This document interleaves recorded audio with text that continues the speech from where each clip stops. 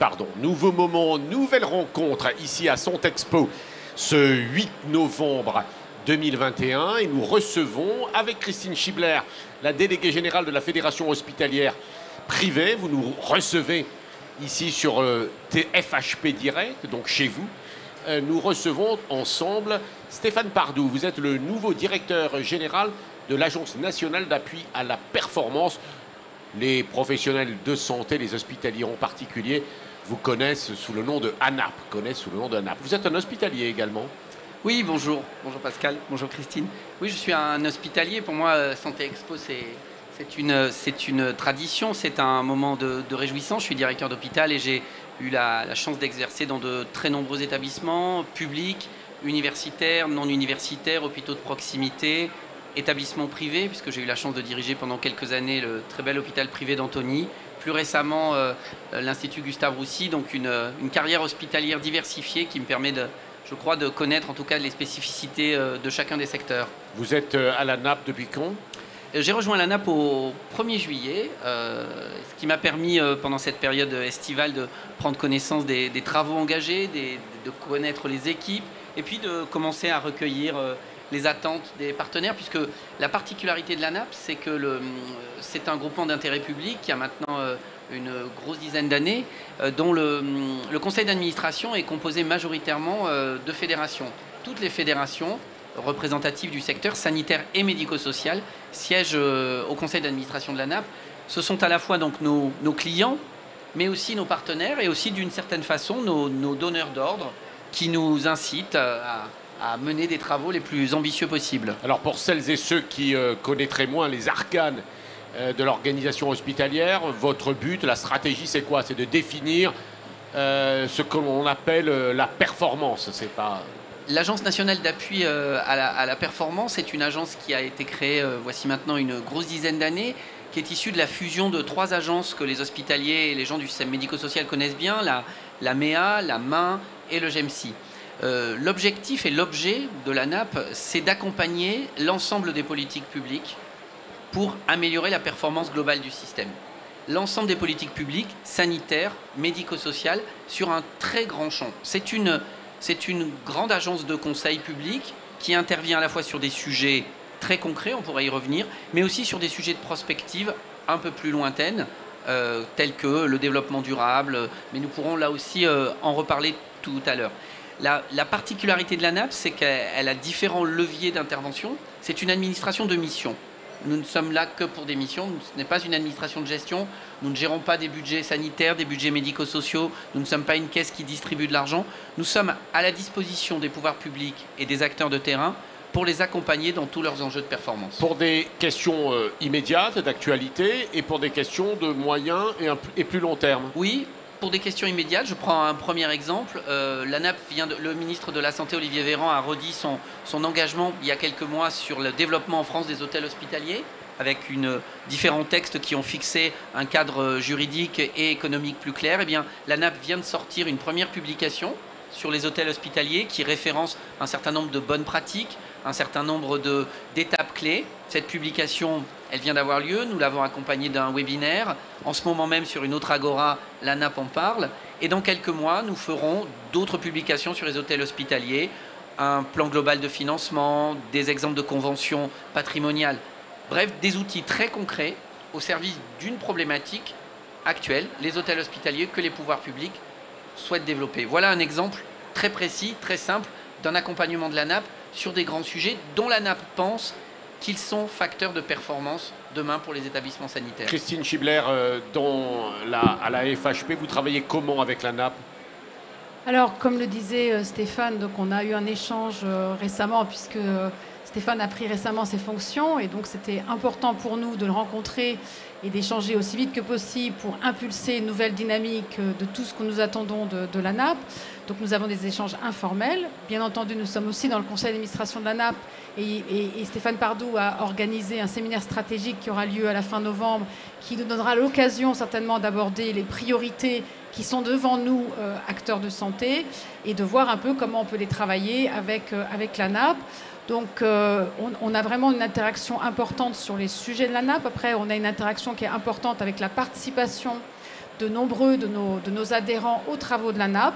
Et nous souhaitons d'ailleurs que, ça soit, que ça soit quelque chose qui prenne plus d'ampleur pour plus s'impliquer dans le partage d'expériences et l'amélioration, on va dire, la performance de la profession, qui est vraiment un travail qui se fasse le plus possible en lien avec la NAP dans tous les territoires euh, avec nos adhérents aussi. Alors par exemple, ces hôtels hospitaliers dont parle euh, Stéphane Pardou, c'est des choses que vous faites, qui vous intéressent Bien sûr, nous, avons euh, un certain nombre d'adhérents qui ont développé des, des hôtels hospitaliers. Bon, après, ce n'est pas le seul sujet. Il y a des sujets qui, nous animent en ce moment qui sont particulièrement importants sur l'accès aux soins, sur le, lien ville-hôpital qui doit être amplifié sur l'accompagnement des réformes de financement avec la régionalisation des financements, qui est un, vaste, sujet à fort enjeu qui est devant nous. Et puis sur, euh, peut-être si on en, citait un troisième, euh, et sans, faire, euh, bien sûr, sans, oublier les autres, mais le troisième, c'est attractivité du secteur de la santé et prospective en santé sur les métiers de demain.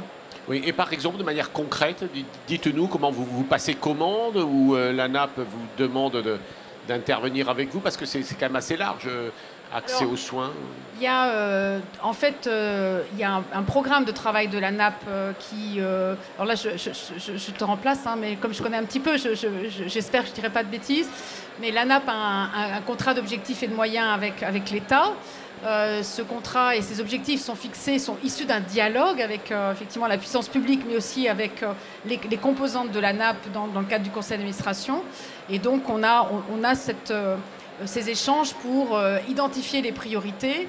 Et après, donc c'est dans, le quotidien, au travers d'événements, au travers de, ces travaux qui sont diligentés par la NAP avec la participation d'un certain nombre d'acteurs hospitaliers que l'on apporte nos contributions et puis aussi après notre appui dans le retour d'expérience et dans la diffusion des outils de la NAP, avec, euh, et on, le salue au niveau de la FHP, la volonté euh, de, Stéphane Pardou avec son équipe d'aller de plus en plus vers des outils très concrets, très opérationnels, simples, pour faciliter l'appropriation et donc diffuser l'innovation euh, plus rapidement. Mais alors pourquoi Ma question est pourquoi avez-vous besoin d'une agence et vous ne les avez pas, vous, ces outils, dans votre propre structure ou organisation?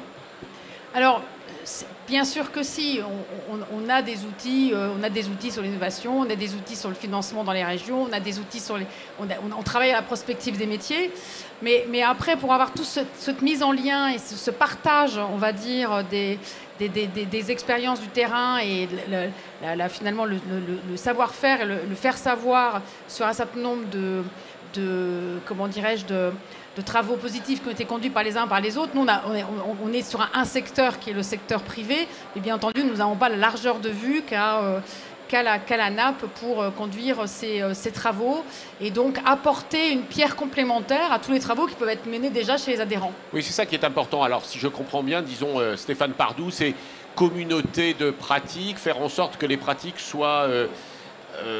par euh, les établissements à mission, les établissements privés, publics, les autres acteurs, que les choses soient partagées. C'est un peu ça votre job? Oui, c'est ça. Comme l'a fort bien dit Christine, euh, nous sommes en pleine réflexion avec l'État sur le prochain contrat d'objectif de performance de la NAP qui sera signé dans les prochains mois. Dans ce cadre, il y a un rapport IGAS qui va bientôt sortir et qui a une très jolie formule qui dit que la NAP, qui rejoint ce que vient de dire Christine, c'est un tiers assembleur.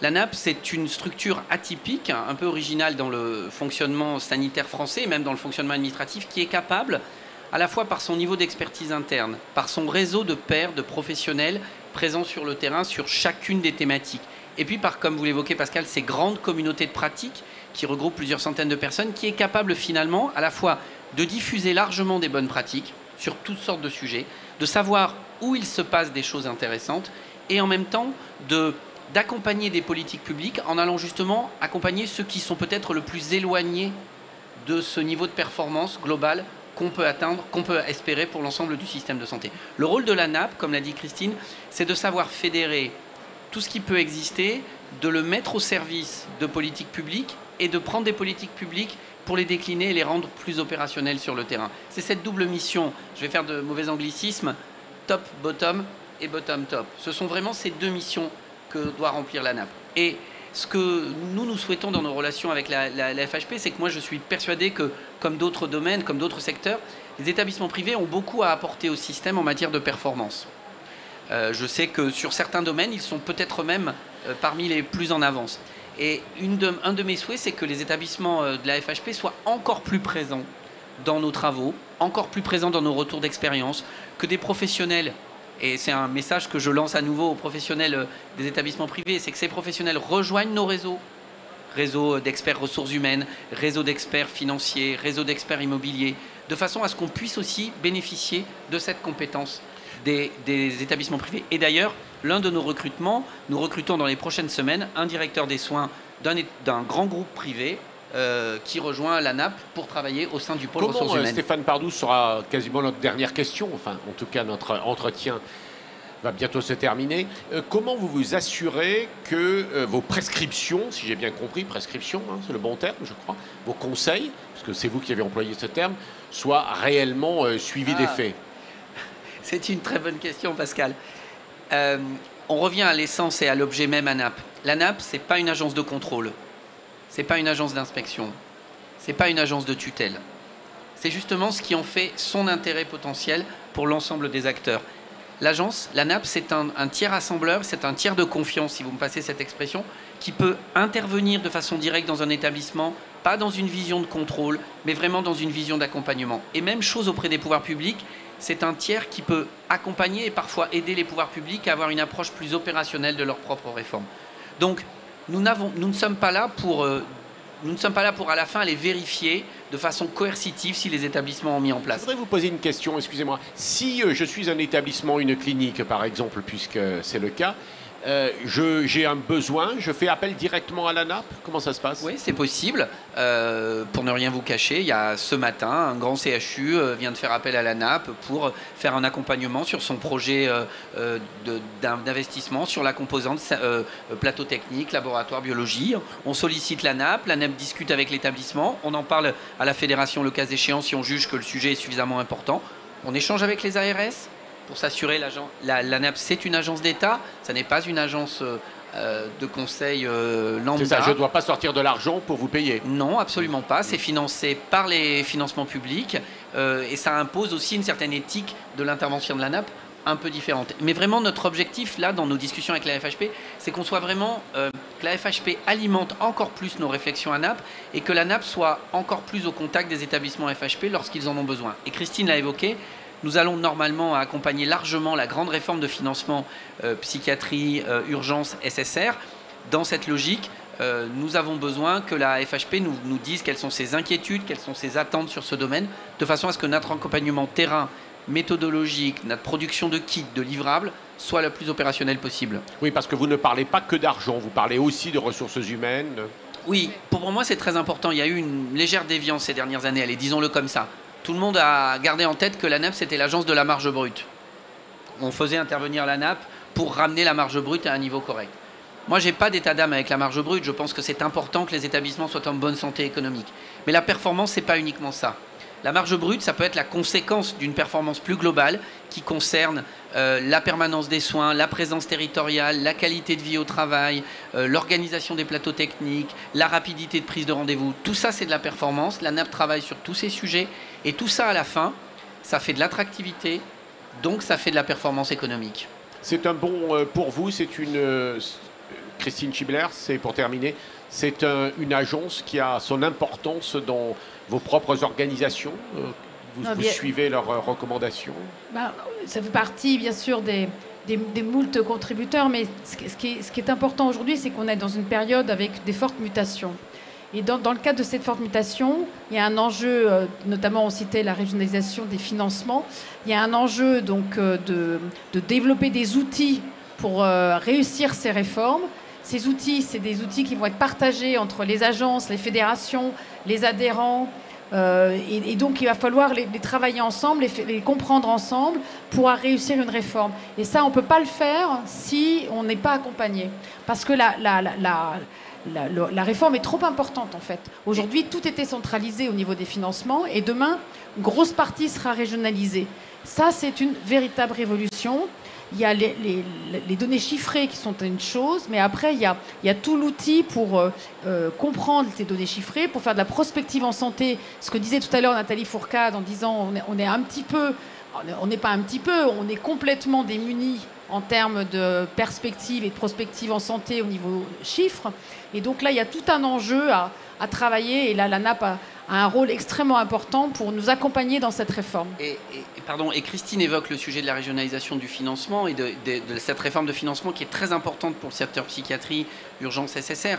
Et donc la NAP est sur ces gros sujets, tout comme la NAP va être et, de plus en plus sur le grand sujet euh, du développement durable et de la responsabilité des, sociétale des établissements, parce que la NAP y voit un véritable levier de management pour ces établissements, de performance globale et d'engagement collectif. On parle beaucoup aujourd'hui, à juste titre, d'une petite crise de vocation, d'une crise d'engagement. Sans doute que là, il y a un sujet sur lequel le secteur sanitaire et médico-social est un peu en retard, ces dernières années, depuis ces dernières années. Sans doute qu'il y a un rattrapage à faire et la NAP entend bien faire de ce sujet un sujet de performance extrêmement important parce que par ailleurs c'est un sujet de mobilisation. Et très concrètement, dans quelques semaines, la NAP lancera un accompagnement, proposera un accompagnement à tous les établissements qui souhaitent s'engager dans une démarche de développement durable, comment ça s'ordonne, quelles sont les priorités, comment éviter les effets gadgets, comment mesurer ses résultats? Euh, plein d'établissements aujourd'hui ont envie de s'y engager. Moi j'ai été chef d'établissement très longtemps. Si on m'avait demandé un matin un blind test si je savais comment engager une démarche de développement durable, franchement, j'aurais dit je sais pas. Et on m'aurait dit est-ce que ça t'intéresse si quelqu'un vient t'expliquer euh, très précisément et te donner toutes les clés pour agir? J'aurais acheté. Donc je, pense que c'est typiquement ce genre de sujet de d'approche globale, de performance globale dont les établissements ont besoin. Voilà, notre euh, entretien prend fin. Nathalie, euh, Christine. Merci. Merci beaucoup, merci beaucoup d'être venu sur le plateau nous rencontrer et donc euh, nous, écouter et on sera euh, partie prenante et pleinement acteur au sein des travaux de la NAP. Merci à vous deux. Merci à vous.